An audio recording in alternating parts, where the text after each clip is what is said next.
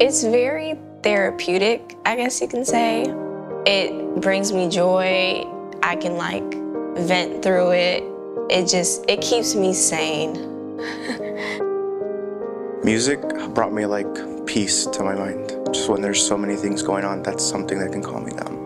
I like the feeling that somebody can read that piece I wrote and relate to it and be like, you get me. It kind of goes a part of like who I am as a person, like I am a visual artist and just like being in that conservatory like helps me somewhat like kind of define myself.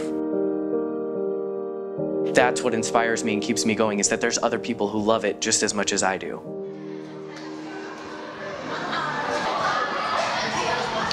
ChiArts has people from other conservatories that share the same passion that I do, even though it's not with music. And I think that it makes it really special. For me, it's kind of like a little bubble where you're safe in a way, because you can express your opinions openly about a lot of topics and also express yourself. I know a lot of people are comfortable doing that here, that they might not be outside in another school. We have different races, um, different religious beliefs, and that's what makes society clash. But in the end, we all can still like be respectful and like create something together. ChiArts is just full of creative kids who can't just stay in the box. I like that. Like everyone in ChiArts is outside the box and everyone's just so different that it just makes this whole school special because everyone's special here. You get people from all walks of life that just want to create. The commitment of being here from 8 to 5 and how we all share that experience. You know, some kids get out at school at like 2.30, 2.40, but since we all share the same experience, I think that this is something to be proud about for the school.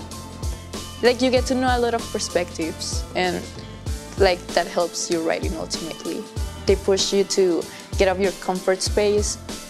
Being here, it teaches you like a balance, like time management, because we're here from 8 to 5. Like you have to use your time wisely.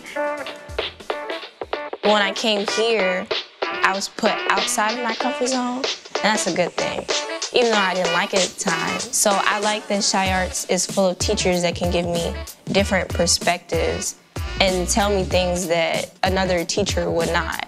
A lot of people here too, not just me, take on challenges head on uh, in, in what they feel like wasn't their strong suit before they came here, but they, they face it because it's what they love to do and they want to get better and they want to improve. I'm working towards being a successful musician as well as being a better person as a musician just because it's it's important to have those skills. But I also want to do social work with art because I feel like art is a big part of the world even if some people don't see the value in it. Like it's what expresses our humanity in a way. I want to bring awareness to something that just people are just not caring about and you can use art as a platform to do that.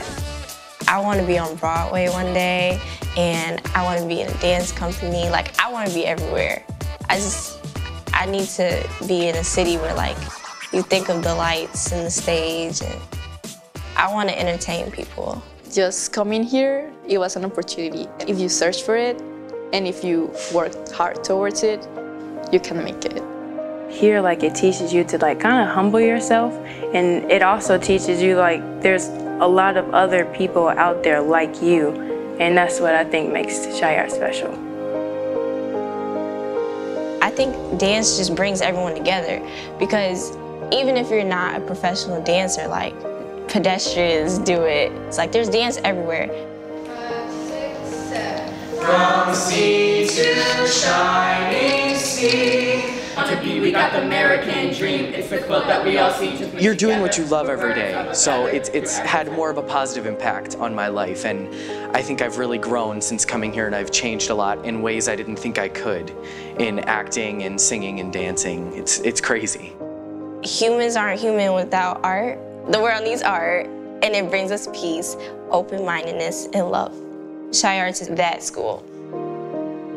Art helps you define yourself, and then it helps other people define themselves too. It gives them hope that this war isn't as lost as it seems to be.